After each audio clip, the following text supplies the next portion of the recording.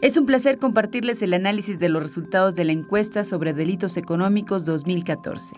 Tanto en México como en el mundo, los delitos económicos como la malversación de activos, la corrupción, los delitos cibernéticos o el fraude contable son una preocupación y amenaza latente para las organizaciones de todos los tamaños y sectores.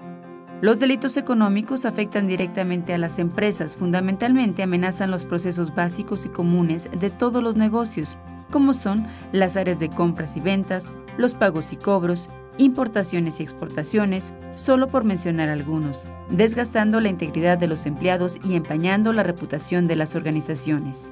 Una constante que aqueja a las organizaciones es la malversación de activos, posicionándose como el principal tipo de fraude en México con 76%. Las pérdidas económicas no son la única preocupación que las compañías deben afrontar al combatir el fraude. Los encuestados señalaron con un 47% que el daño a la moral del empleado es el principal daño no económico que se presenta.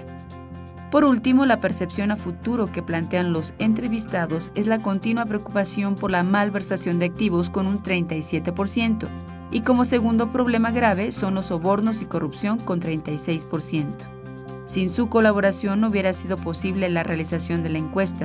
Por tal motivo, lo invitamos a participar en la siguiente edición de la encuesta sobre delitos económicos 2015. PwC desarrolla y comparte con usted una cultura de prevención.